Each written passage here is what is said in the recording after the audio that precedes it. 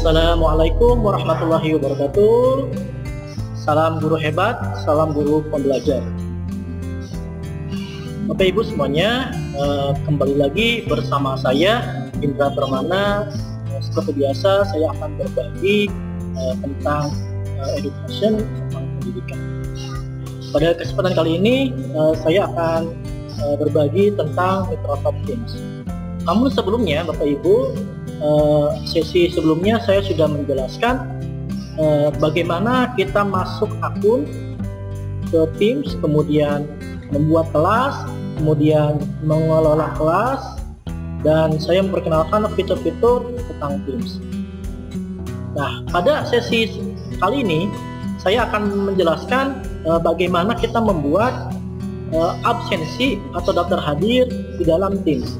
Baik Bapak Ibu semuanya, uh, sebelum kita mulai tutorial, jika Bapak Ibu uh, belum subscribe, silakan bisa subscribe terlebih dahulu demi berkembangnya channel YouTube ini. Untuk lebih jelasnya, mari kita bersama-sama melihat tutorial berikut ini. Selamat menyaksikan. Baik, Bapak Ibu semuanya, langkah pertama ya kita berarti masuk ke Microsoft Teams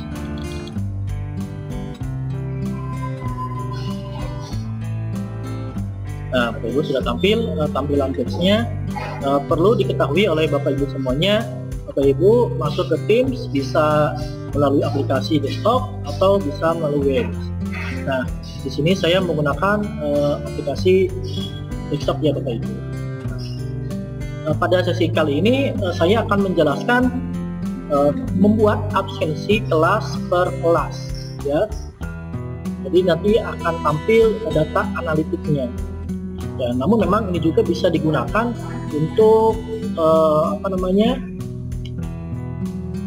abs untuk absensi atau daftar hadir untuk semua kelas ya tapi supaya saya uh, apa namanya supaya terlihat ya tersusun rapi uh, supaya langsung terekap uh, saya buatnya per kelas tapi sebelumnya Bapak Ibu silakan boleh membuat uh, channel kelas terlebih dahulu ya Nah, nanti tinggal klik di sini. Kemudian add channel. Ya, nanti tinggal tulis saja. Oke, dan di sini saya sudah buat. Uh, contoh saya uh, ambil di kelas 11 MIPA 1 ya. Saya buka di sini kelasnya. Kemudian uh, untuk membuat absensi tinggal di sini di paling bawah klik titik tiga. Ya, Bapak Ibu.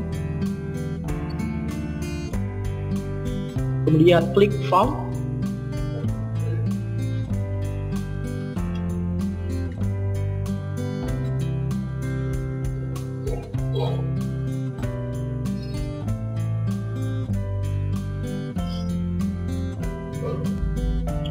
sini sudah tampil ya Bapak Ibu ya uh, untuk formnya.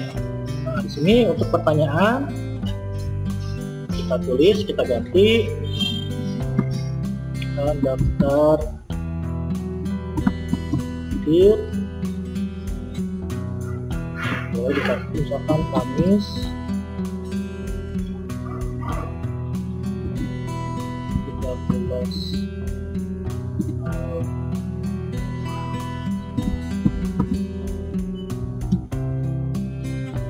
kemudian untuk opsinya kita tulis hadir. Kemudian submit tambah lagi ya jika mau kurang. Kemudian C. Nah, sudah selesai Bapak Ibu ya. Nah, di sini jawaban ganda. Nah, di sini kita kalau kalau kita tidak klik an, an, anak hanya satu kali saja ya ini kita klik Bapak Ibu berarti anak bisa dua kali pengisian ya, saya anjurkan satu kali saja kemudian berikutnya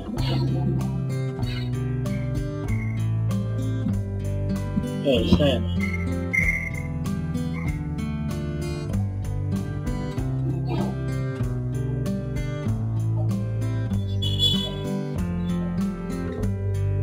Nah, Ibu di sini sudah tampil. Di sini adalah pertanyaannya. Ya nanti anak terbesit di bagian ini.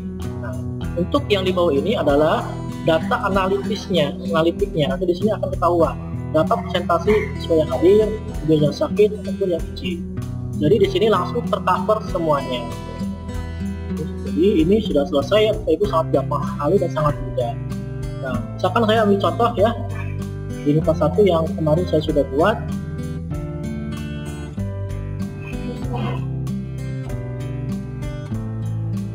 Nah, di sini Bapak Ibu ya, jadi di sini sudah ada ya, sudah ada rek, langsung direkapitulasinya.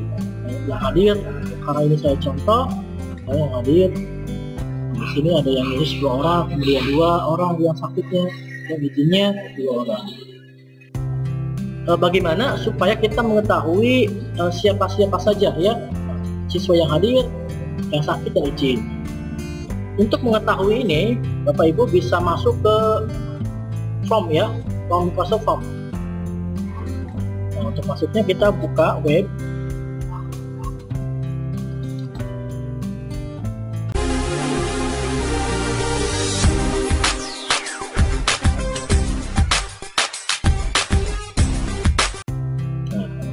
Selanjutnya kita masuk ke form office Bapak Ibu.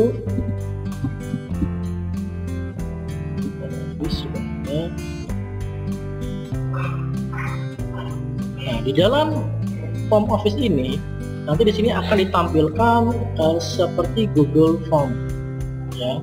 Seperti Google Form, nah di sini ditampilkan pada ini yang sudah pernah kita buat. misalkan tadi daftar hadir yang sudah saya buat ya Bapak Ibu ya ini tadi yang saya yang baru saya buat belum ada respon ya nah, untuk yang tadi ya ini yang ini sudah ada kita buat ini contoh misalkan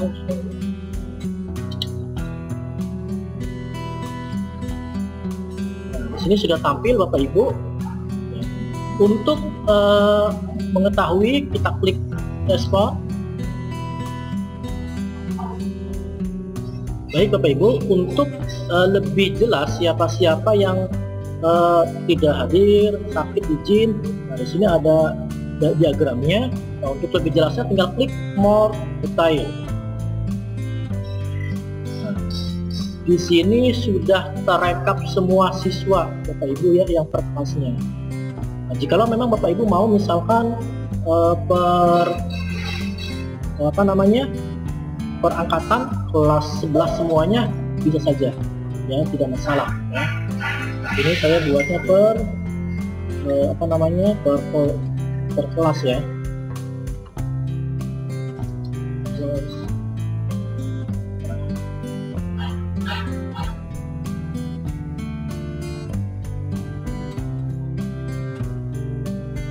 Nah, kemudian Bapak Ibu uh, untuk uh, bisa melihatnya kita juga bisa membuka dengan di Excel. Klik saja di sini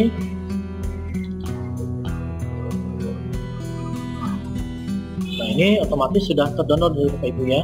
Jadi nanti rekapan itu sudah terdownload otomatis di uh, Excel baik Bapak Ibu semuanya uh, itu yang bisa saya sampaikan.